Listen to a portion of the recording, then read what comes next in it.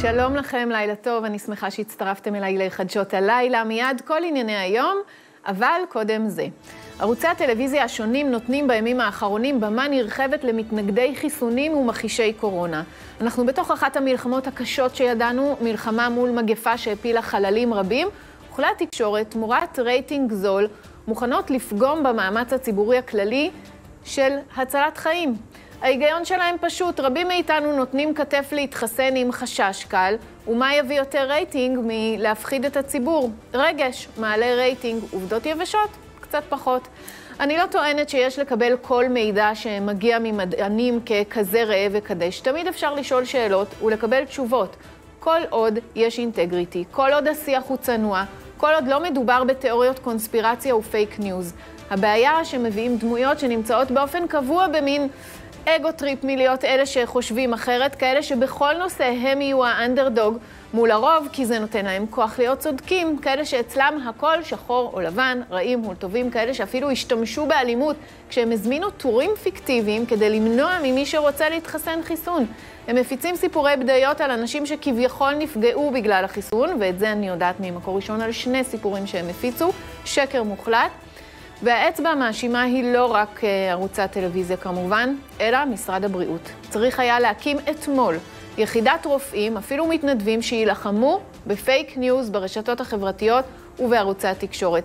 הספק כבר כרסם אצל הצעירים, עכשיו הזמן להשיב תשובות. ה fake news הורג.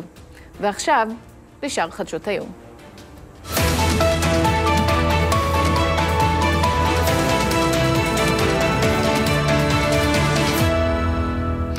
הקבינט הממשלתי אישר הערב את מתווה משרד הבריאות לפתיחה הדרגתית של מערכת החינוך וקבע שמוסדות החינוך ייפתחו בהדרגה החל מיום חמישי בשלוש פעימות. תחילה ייפתחו מוסדות החינוך עד כיתה ד' ביישובים ירוקים וצהובים בלבד. שר הבריאות אדלשטיין אמר שבמצב הנוכחי אי אפשר לכלול במתווה את השכבות הבוגרות יותר, היות ונתוני התחלואה מראים על הידבקות בגילאים הללו. משרד הבריאות מפרסם היום נתונים על מספר המתחסנים, יותר משלושה וחצי מיליון איש התחסנו עד כה בישראל, מתוכם יותר משני מיליון ישראלים קיבלו גם את המנה השנייה. יש לציין שמספר המתחסנים במנה הראשונה פוחת, ועל פי הנתונים היום חוסנו כ-122 אלף בני אדם בלבד. בעקבות הירידה במספר המתחסנים, משרד הבריאות מרחיב את המבצע, צוותי רפואה ומד"א יגיעו במשלחות למקומות אה, עבודה. אה, ולמקומות עם ריכוז גילאים צעיר, כדי להבטיח בצורה מרבית את הנוחות בהליך אה, קבלת החיסונים ולהגביר היענות בקרב צעירים. במקביל, בצה"ל מעריכים שיגיעו לחסינות עדר מקורונה בתוך שלושה שבועות, זאת בשל מהירות מבצע החיסונים הנרחב, שמתקיים אה, ב-23 מוקדי חיסון. עשרה אחוזים מכלל החיילים אינם מעוניינים להתחסן, ובצה"ל יקיימו הערכת מצב בעניין בתוך כשבועיים. עוד בעניין החיסונים, בשכונת נווה שאנן בתל אביב נפתח הבוקר מרכז חיסונים של עיריית תל אביב ובית החולים איכילוב למסתננים ועובדים זרים, כדי אה, לעודד הגעה למקום מובטח מראש, כי פרטיהם של המגיעים לא יועברו לידי רשות ההגירה. ראש הממשלה נתניהו ושר הבריאות אדלשטיין ביקרו היום בקופת חולים כללית בזרזיר, הנה מעט ממה שנאמר בביקור. אנחנו במצב חירום לאומי. אני רוצה לתת לכם נתון מטלטל. בחודש האחרון, 30 יום האחרונים, מתו במדינת ישראל 1,536 אנשים. 97 אחוז, למעלה מ-97 אחוז מהם לא היו מחוסנים. פחות משלושה אחוז מהם היו מחוסנים. אנחנו מדינה של חיסונים. יש לנו חיסונים לכל אזרח, לכולם. רק לפני, ביום ראשון הגיעו עוד מיליון חיסונים. ולכן, אם אתם מתחסנים, אתם מצילים את החיים שלכם. אנחנו עכשיו אה, לעדכון מיצהר. לפני שעה קלה, תאונת דרכים קשה שאירעה בצומת יצהר בין רכב פלסטיני להולכת אה, רגל. כבת 19 אה, מצטרף אלינו כתבנו לענייני התיישבות, שריה הרוש, שלום. אהלן, ערב טוב. מה אנחנו יודעים לומר? טרגדיה. בהחלט טרגדיה, ואנחנו יכולים לומר בשלב הזה שנערה בת 19, כמו שאמרת, נהרגה הערב בצומת יצהר אה, כתוצאה מרכב פלסטיני שפגע בה. יש לציין שהייתה הולכת רגל ולא תאונה חזיתית אה, בין אה, רכבים. חובשים ופרמדיקים של כוחות ההצלה שהגיעו למקום בעצם עשו אותה ללא רוח חיים ונאלצו לקבוע את מותה. הנהג הפוגע הוכר בחקירה, אלה הפרטים שכרגע ידועים מותר למסור, שמה של הנערה עוד לא הותר לפרסום. אנחנו יודעים האם היא הייתה על המדרכה או שהיא חצתה את הכביש? מה, מה היה בעצם באותו רגע? אנחנו עוד לא קיבלנו את הפרטים הללו, אנחנו מחכים לחקירה שתגיע במקום, בוחני תנועה ותאונות יראו את הפרטים וימשיכו לעדכן. כן, אני מבינה שמעדי ראייה שהיו במקום, לפי שעה נראה שלא מדובר בפיגוע. כן, לפי שעה גם החיילים שהיו באזור וגם אזרחים שהיו בזמן התאונה מדווחים שגם נהג הפוגע עצר במקום וניסה להגיש עזרה. כרגע לא מדובר בניסיון פיגוע או משהו על רקע לאומני. כן. שריה ארוש, תודה שהיית איתנו, שיהיו בשורות טובות. בשורות טובות, לילה טוב. בשעה זו עשרות צעירים מפגינים בגשר המיתרים בירושלים, במחאה על, ובדרישה להקים ועדת חקירה בעניין מותו של הנער אהוביה סנדק, שנהרג במהלך מרדף משטרתי ביהודה ושומרון. חלק מהמפגינים ניסו לחסום את הכביש, ארבעה נעצרו על ידי המשטרה. מוקדם יותר היום מספר פעילי מחאה שנכנסו לתוך משרדי מח"ש בירושלים ונעלו את הכניסה והיציאה מהמשרדים. הפעילים קבלו את עצמם למשרדים במחאה על טיוח החקירה של אהוביה סנדק.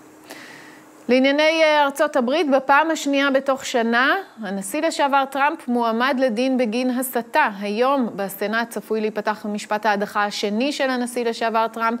התביעה מאשימה אותו בהסתה להתקוממות בעקבות התפרעות ההמונים בגבעת הקפיטול בחודש שעבר, שהסתיימה במותם של חמישה אנשים ופציעתם של נוספים. בכך הפך טראמפ באופן רשמי לנשיא הראשון בהיסטוריה האמריקנית שעומד לדין פעמיים.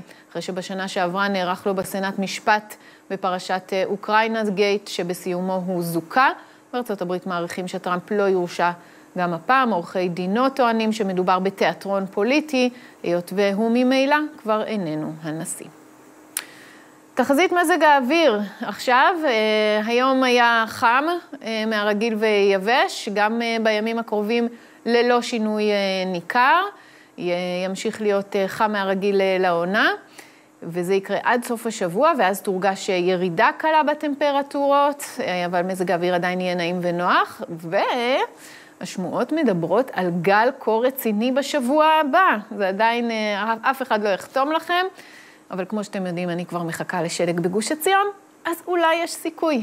אנחנו כמובן נעקוב בדריכות, עד כאן המבזק שלנו, ועכשיו נאמר לילה טוב לכתבנו הפוליטי הלל ביטון רוזן. לילה טוב, שרה. לילה טוב. בואו נדבר על uh, כמה עניינים פוליטיים. ראשית, אפשר אולי לסכם, השבוע נעשו הרבה מאוד uh, סקרים, גם כאן אצלנו בערוץ uh, 20, כן. גם במקומות אחרים. האם אנחנו יכולים לסכם מגמה? כן, ודאי. קודם כל, לפי סקר שפורסם אתמול, לראשונה אפשר לראות את גוש הימין. מרכיב ממשלה, גוש הימין הישן. בכוונה אני מציין הישן, כי כרגע אין גוש ימין, יש גוש כן נתניהו, לא נתניהו, אה, ומספר אה, מפלגות שאמרו שימליצו רק על עצמם, אה, כדוגמת סער, שגם אמר שלא יישב עם נתניהו, ובנט, שכרגע נהנה מהמצב שהוא אומר, אני לא יודע על מי אני אמליץ, אני, סליחה, אני ממליץ על עצמי, ו...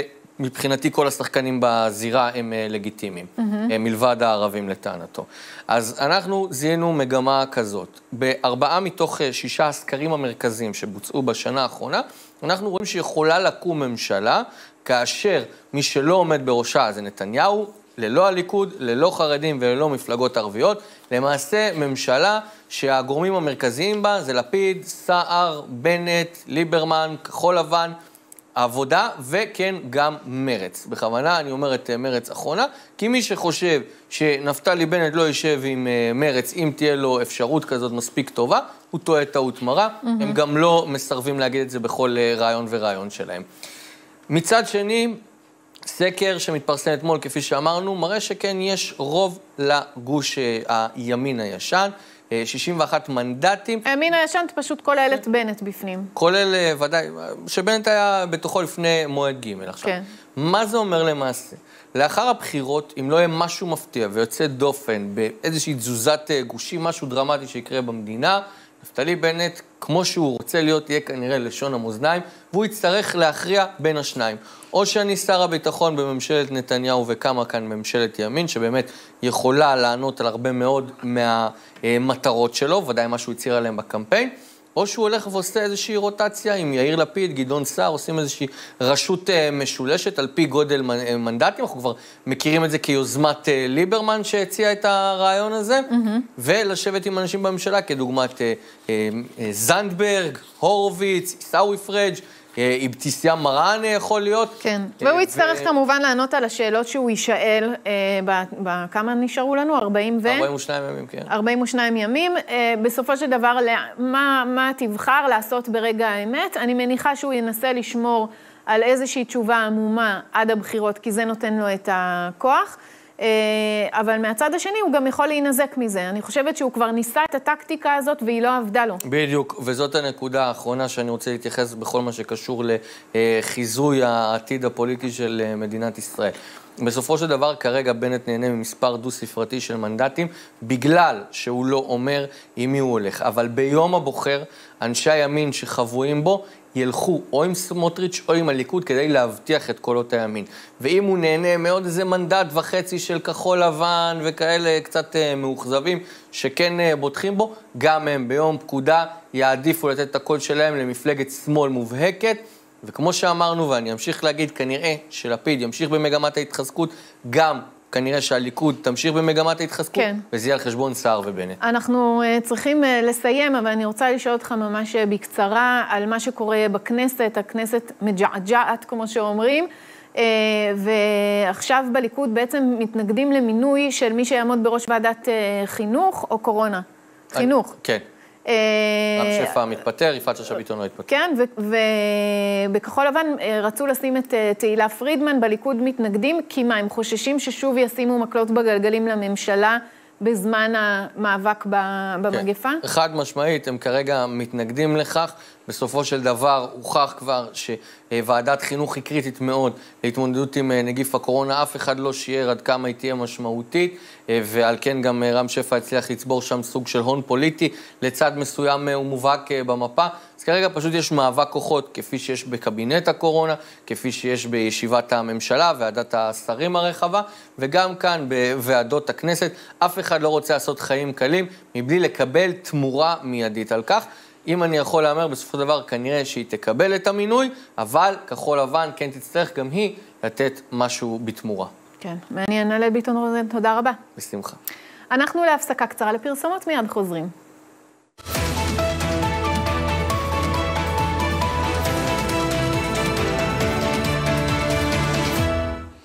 שבנו ונאמר עכשיו אה, לילה טוב לשניים, גלעד צביק, ישראל היום, לילה טוב לך. אה, לילה טוב, מה נשמע? לילה טוב, מצוין, ולילה טוב לאילון זרמון, פרסומאי. לילה טוב. בואו נדבר רגע על הממשלה הזאת והדרך שלה להגיע לקבלת החלטות, או הקושי שלה בקבלת uh, החלטות. אנחנו בסוף השבוע חשבנו שהילדים יחזרו היום לבתי הספר, עכשיו מדברים על איזשהו מתווה חדש, ובסופו של דבר, נדמה כאילו, uh, וזה גם הרב קנייבסקי אמר, החינוך הוא לא בסדר העדיפויות. יש איזשהו מנהל בית ספר שאמר שהוא לא דתי, שאמר שהוא יפתח את uh, בית הספר אצלו. מה אתם חושבים על ההתנהלות בכל נושא החינוך, גלעד? שאלה מאיזה בחינה לא בסדר עדיפויות. אני חושב שסדר העדיפויות הראשי, תראי, זו פעם ראשונה שאנחנו יוצאים מסגר, mm-hmm. שמצב לא כל כך טוב מבחינת התחלואה. בפעמים הקודמות היה שיפור ניכר לעומת תחילת הסגר. אז אולי לא צריך לצאת מהסגר, למרות הלחץ הציבורי.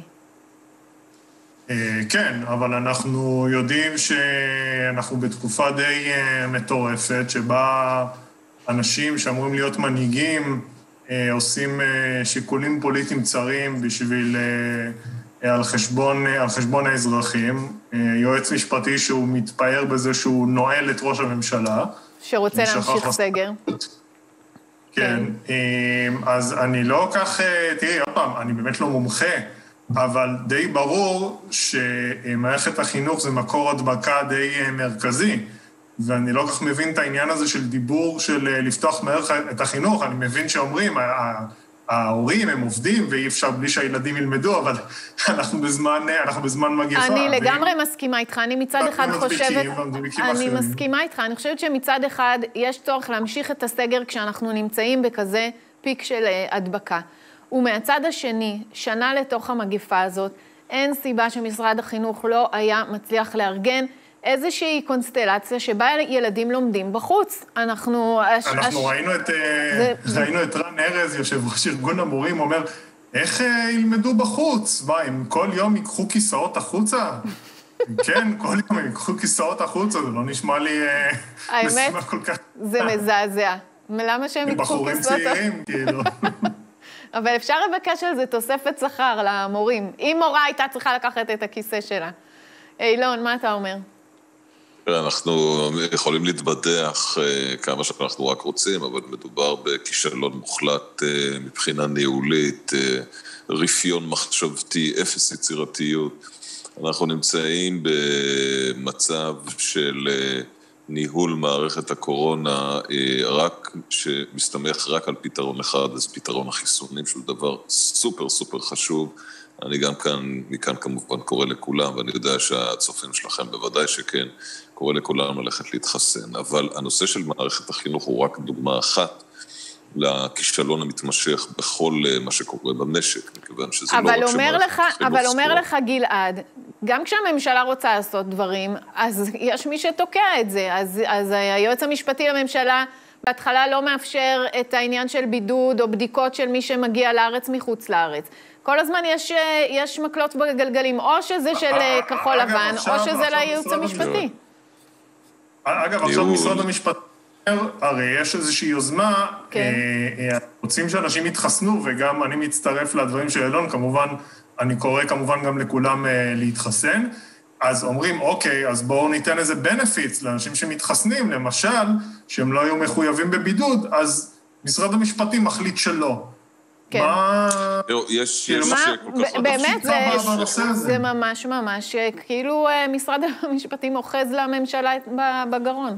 יש, תראו, יש המון כשלים, גם של אה, משרד המשפטים וגם של אה, מערכת היחסים בתוך הממשלה, יש מיליון ואחד כשלים שם. העניין הוא שהכשלים הם לא יותר מאשר תירוץ לא בריא ולא טוב אה, למי שאמור אה, לנהל מערכת כל כך מורכבת, אבל יש, יש המון בעיות. תראו, אחד הדברים, אנחנו מדברים על חינוך, אבל מה קורה עם המסחר למשל? אתם יודעים, אנחנו נמצאים במקום שרשתות, חנויות, אנשי עסקים, סגרו להם, העסקים שלהם סגורים כבר למעלה מחודש וחצי, שזה דבר מטורף, כי צריך להתפרנס באיזושהי צורה, להחזיר השקעות, נכון, אבל אנחנו רוצים גם לחיות כדי שנוכל לקנות ולמכור. נכון, נכון, אבל הנה, תראו, תראו את הקסם, אבל הנה, תראו את הקסם המדהים הזה, שאנחנו נמצאים במערכת של סגר שמתמשך כבר חודש וחצי.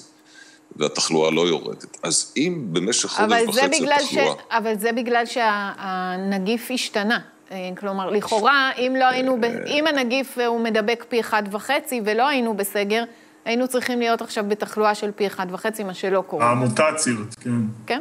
כן, אנחנו, אנחנו, אנחנו עדיין בכל, מכל, מכל זווית שאנחנו נסתכל עליה, אנחנו צריכים להגיע למקום שבו אנחנו חיים לצד הנגיף הזה, אין לנו דרך אחרת, כי אם אנחנו נשים את עצמנו, בס... אי אפשר, מדינת ישראל לא יכולה להיכנס לסגר טוטאלי. יש או, זה ממש מצב של או שאנחנו נכנסים לסגר טוטאלי ואז כן. באמת... אה, זה, אבל זה דבר שלא יכול לקרות כאן גלעד, אתה מסכים עם אה, אילון, או שיכול להיות שאנחנו צריכים להיות בסגר כמו שנמצאות מדינות אחרות ברחבי העולם, בסגר? כן, כן, בלונדון, במקומות אחרים, בשוודיה, אגב, שלא נכנסו לסגר, הודו שזה עלה להם בחיים. כן, המלך שם מודה ש...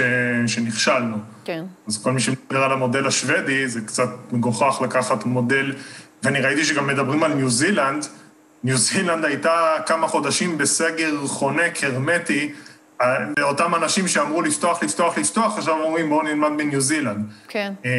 כלומר, אין פה, אין פה שמץ של, של הגינות. טוב, אני, אני רוצה, אני רוצה לעבור... אצלנו אין מלך שיגיד שאנחנו נכשלנו. אה, יש לנו... אה, למה? אם תשאל אנשים יגידו שיש מלך. בואו נעבור לדבר אה, הבא. דיברנו על זה אתמול, על הסתימת פיות של ברוך קרא, של אבישי בן חיים, בתוך השידור של המשפט של ראש הממשלה. היום ממשיך בקו הזה רביב דרוקר, בואו תראו. אני חושב שאני נורא מבין את ברוכי, ועם כל החיבה לאבישי שתכף יהיה, כי זה לא נוח לנהל את זה כן, בלעדיו. בדיוק. אה, אני חושב שזה עמדות כמו של מכחישי חיסונים. אתה לא היית שם באולפן פרשן קבוע שיכחיש את החיסונים בלי בסיס מדעי לעמדותיו, ואני חושב שזה בדיוק אותו הדבר, זאת אומרת, ברור, אתה לא יכול, לא כל דעה ראויה כן. להישמע. העניין הזה שאתה יכול להגיד דעות, אתה יכול להגיד דעות.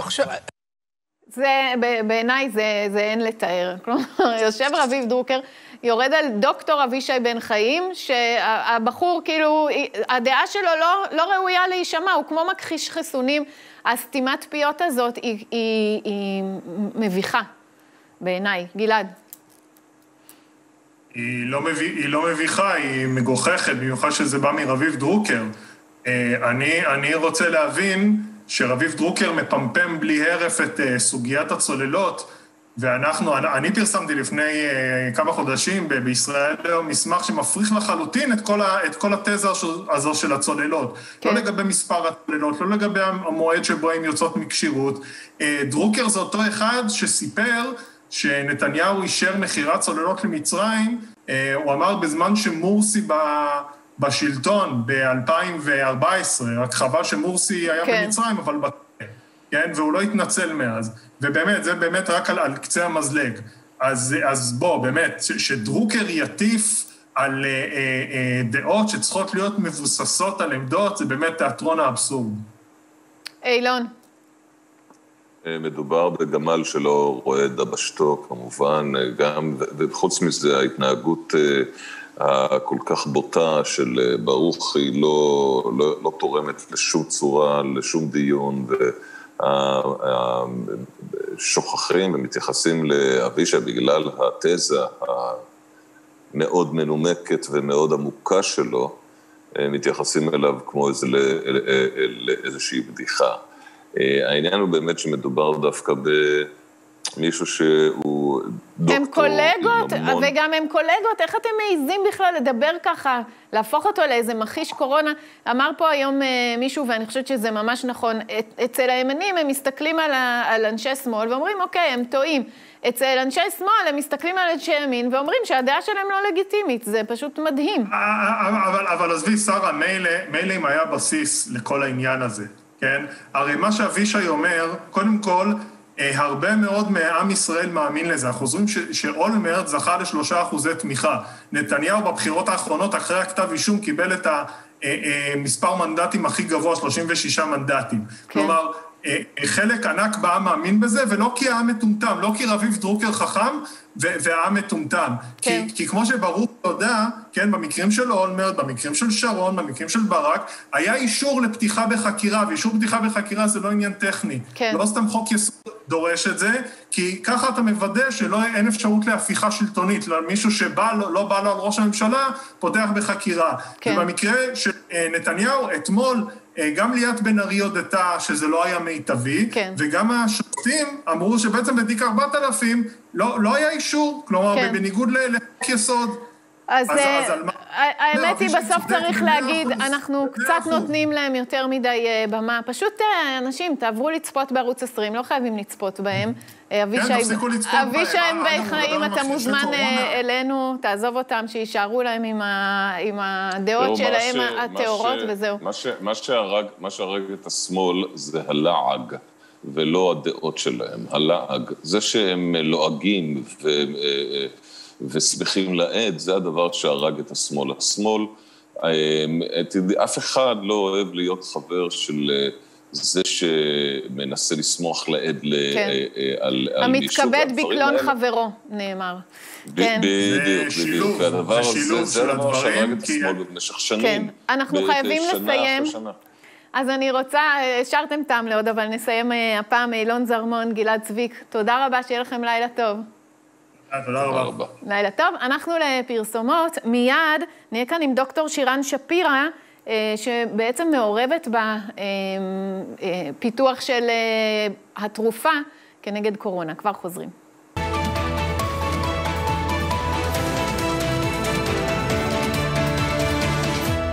אנחנו עם חדשות טובות עכשיו. בית החולים איכילוב סיים אה, מחקר ניסיוני ראשוני לתרופה לקורונה, ומצטרפת אלינו אה, עכשיו מי שעזרה במחקר ובפיתוח התרופה, דוקטור שירן שפירא, מנהלת המעבדה של המערך לרפואה מונעת והמרכז למניעת סרטן בבית החולים איכילוב. לילה טוב לך. לילה טוב. אה, קודם כל, בהתחלה אמרו לנו שאין כזה דבר תרופה לקורונה, כי זה וירוס. מה בעצם יש בתרופה הזו? אז קודם כל, אנחנו, אני אהיה מאוד זהירה, אנחנו בשלב הראשון כמובן בדקנו בטיחות בלבד. Mm-hmm. אנחנו מדברים על תרופה שלמעשה פועלת כנגד מערכת החיסון. בשלב הראשון בקורונה, הרבה פעמים זה בעצם מחלת דמוית שפעת, שאין איזושהי התערבות מאוד מאוד רצינית. אבל בחמישה עד שבעה אחוז מהמקרים, מה שקורה, אנחנו רואים את מערכת החיסון גועשת, mm-hmm. מה שנקרא סערה ציטוקינית. Mm-hmm. התרופה שלנו יודעת לבוא ובעצם להשקיט את אותה מערכת חיסון ולאפשר לה להילחם בנגיף. אבל, אה, ולהילחם בנגיף, עכשיו, איך, איך זה בעצם אה, פועל? מה, מה זה עושה? אז אנחנו בעצם מדברים על ננו-טכנולוגיה. מדובר mm-hmm. על ויזיקולות קטנות, בועיות קטנות, שבאופן טבעי הן משתחררות כמעט מכל תאי הגוף שלנו. עכשיו, אנחנו יודעים להנדס את אותן בועיות קטנות ככה שהן יבטאו ביתר חלבון שנקרא CD24.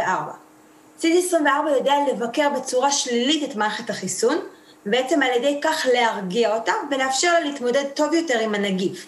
על מי בעצם בדקתם את התרופה עד עכשיו, או איך בדקתם אותה?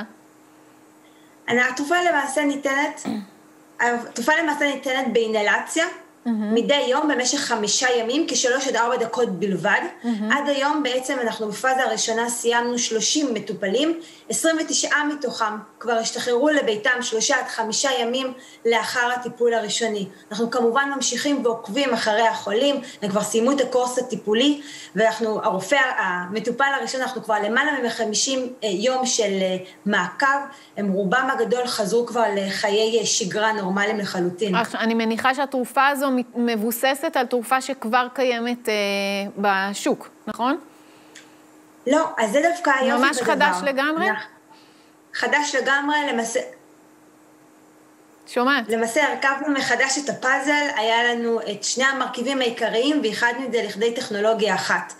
ולמעשה עשינו דבר שלא תואר קודם לכן, היות באמת מרגע הגיית הרעיון ועד שהצלחנו לייצר את הטכנולוגיה, לפתח אותה ולהגיע אל הפציינט הראשון, עברו שישה חודשים בלבד. ממש אה, מדהים. כמה בעולם אה, יש לכם אה, מתחרים? גם פה בארץ יש לא מעט מעבדות מחקר שמנסות לפתח טיפולים חדשניים. Mm-hmm. יש חלקם שגם אנחנו יודעים, כמו מהדסה, שעברו את הפאזה השנייה. רוב, רוב המחקרים בעולם זה בעצם תרופות שכבר אושרו להתוויה מסוימת ועברו reuse mm-hmm. על מנת לש, אה, לשמש לקורונה. לכן תרופות ממש חדשות אין כל כך הרבה, ועד היום אני אזכיר, אין תרופה שהוכחה באמת כיעילה לטיפול בקורונה. אה, בעינייך עכשיו בתוך אה, הסאגת הדיונים והוויכוחים האם להתחסן או לא, זה יכול להיות בעצם עדיף מאשר לקבל אה, חיסון ולא לחלות? לא. אז קודם כל אני כמובן קוראת לכל הציבור להתחסן. אנחנו לא באים להחליף את החיסונים, אנחנו לגמרי מאמינים שזה יבוא זה לצד זה. החיסונים באמת זה, זה המצאה נהדרת וזה אה, אה, דבר מחקרי פורץ דרך הטכנולוגיה החדשה. והבעיה היא שאנחנו לא מודעים ליעילות שתהיה בעקבות המוטציות בעצם שמתרחשות עם הנגיף. Mm-hmm. היופי בעצם בטיפול שלנו זה שלא משנה איזה מוטציה הנגיף בעצם ילבש, אנחנו בעצם מתמודדים עם מערכת החיסון. עם הסימפטומים, ש, ש, עם מה שזה עושה לגוף. נכון מאוד. כמה יש אה, תופעות לוואי לתרופה הזו? באופן מדהים, אף לא תופעת לוואי אחת ולו הקלה מביניהם, באמת עד היום 30 מטופלים, לא ראינו תופעות לוואי.